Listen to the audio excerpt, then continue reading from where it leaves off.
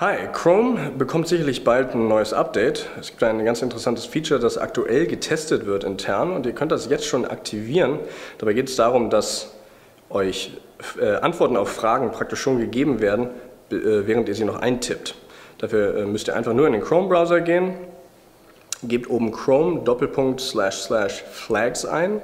Aber wir machen jetzt erstmal einen Test dessen, wie es ohne diese Aktivierung aussieht. Nehmen wir jetzt zum Beispiel mal eine ganz banale Frage.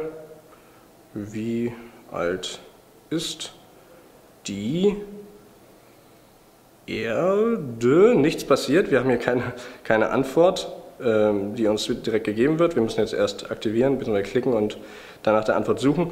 Wenn ihr jetzt folgenden Schritt getan habt, ihr gebt Chrome Flags oben ein, jetzt suchen wir hier mal im, auf der Seite nach Answers in Suggest. Das ist der Flag, beziehungsweise das ist der Bereich, den wir hier finden müssen.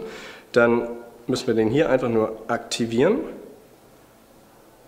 Jetzt schließen wir den Browser nochmal, gehen wieder rein. So.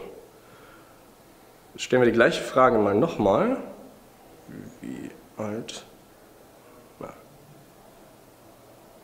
Heute will er irgendwie nicht. Ist die aha, wie alt ist die Erde? Und jetzt habe ich bereits eine Antwort hier.